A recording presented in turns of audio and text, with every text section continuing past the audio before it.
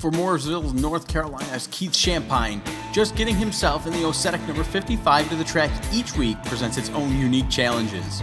The Chris Osetic prepared ride ended 2017 super fast, and Keith Shampine hoped a few more off-season tweaks could catapult him to more victories and a run at the 2018 Novelis Supermodified Championship. Opening day found the 55 starting mid-pack in traffic much of the night for the first twin 50. Shampine was able to keep moving forward and out of trouble to a respectful third place finish. The nightcap Twin 50 found a much better starting spot and was able to even pull away from defending series champ Shullick. With just 10 laps to go, Shampine was able to move into the second spot on his way to catch the leader. Shampine was unable to close the gap on the lead and settled for a runner up finish.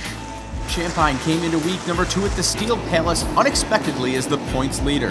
Shampine's good fortunes would soon run out after he spun out to avoid a spinning number 52 of Dave Danzer. The 55 would have to regroup from the back of the pack and possibly drive a little faster than he wanted to to get back to the front.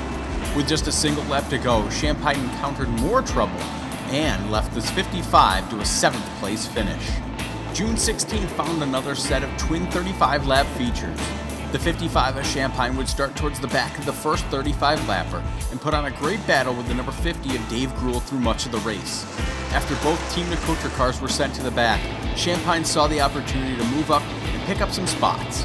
At the end of the first Twin 35, Shampine came home with a fourth place finish. The second Twin 35 saw a spirited battle between Shampine, Sitterly, and Barnes for the victory.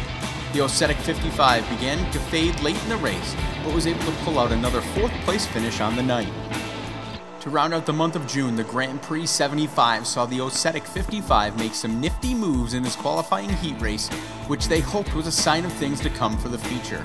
Shampine had a great sixth place starting spot as the field took the green. The top runners in the point chase stuck together as they moved through the field, swapping lanes and positions for many laps.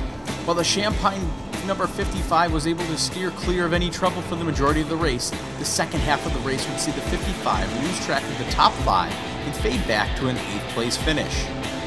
July would find a fast running 55 machine as he raced his way up to the top five in the first half of the 50 lapper. A close call for Shampine when the Zero car got up into the wall, and minor damage to the Osetic 55 as well. Shampine was forced to come into the attention of Osetic Racing crew in the pits to see if anything needed repairs. Shampine would once again have to make the long, late race charge from the back to pick up the precious points. Some long green flag runs enabled Shampine to keep moving up through the running order and managed to capture another fourth place finish. The next event on July 14th would showcase some of the best side by side racing in many years, and Keith Shampine played a great part in this first action first battling with defending champ Shullick, and later battling with Sitterly lap after lap. The two would run into trouble as they approached traffic in turns 3 and 4, with Sitterly headed up to the wall. Shampine was able to keep charging forward after the conflict and claim the runner-up spot behind Shullick, also cementing his spot firmly into the points chase. Retro Night brought the long-awaited debut of the throwback 8-ball paint scheme from the Oswego Speedway for the number 55 of Shampine honoring his late Uncle Jim.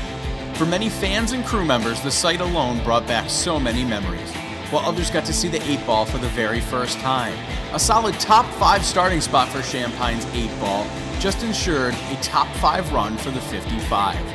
The 8 ball of Shampine battled hard all night long with Otto Sitterly and others, and kept up with the lead pack throughout the race. The final few laps saw the lead bunch in traffic, and Shampine would get shuffled out and settle for another fourth place finish at the end. The battle for the runner up position in the points chase was fully up for grabs heading into the second to last event on August 11th. Shampine kept the family 8 ball colors on the 55 as hoping to provide it with a little extra luck to get to victory lane. Everything was looking great early in the feature as Shampine dueled both with Shullick and Barnes respectively. Shampine's arch nemesis turn 3 at Oswego reached out to spoil the good run for Shampine around halfway. The 05 of Jeff Abold and Shampine would end up in the wrong way, but managed to keep it off the wall. Shampine then headed to the pits for repairs, before heading back out onto the track. In the end, a 10th place finish on the night saw valuable points lost, as Shampine would now drop back to 4th in points with a single race to go. As championship night rolled to the green, Shampine looked to rebound from the misstep the week prior. The Shampine 55 looked really good early on and back to mid-season form battling with the Cotra Racing teammates. Tricky turn 3 would yet again find the Shampine effort come to a halt with damage from contact with the number 47 of Bobby Bond. Front wing damage on the 55 saw Shampine make a long drive back into the pits for repairs. Once back on the track, Shampine's ride was obviously not handling up to par and just about got lapped before a wreck in turn 4. Soon after, the 68 of Barnes pulled off the track, which opened up the points chase yet once again. Shampine was able to bring the Osetic 55 home in a sixth place spot, ensuring third place in the points chase for 2018. With 8 top 5s, 12 top 10s, and not a single DNF on the season, Shampine put together another solid performance for 2018. Congratulations to the driver of the TJ Toyota, Osetic Racing number 55, Keith Shampine.